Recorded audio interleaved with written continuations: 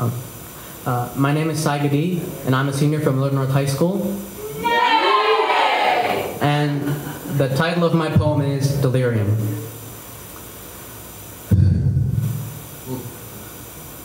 I'm in delirium, don't you know?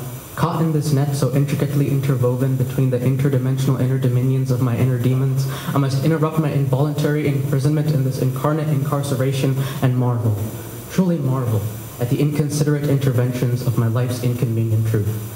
I live two half lives. The symmetric geometry so eloquently splits my brain in half.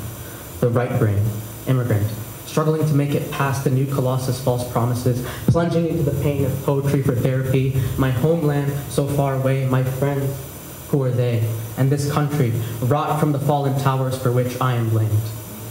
Left brain, immigrant, struggling to make it to my parents' expectations, delving into the depths of school and science for answers no letter grade, no award, no experiment could determine that I am failing, falling apart between the cerebral gap of my two selves, some hideous attempt at sculpting put on open display for ridicule and mockery, a tulip bulb drowned in liquid nitrogen, my shell not beautiful enough for their silver portraits and baroque vases.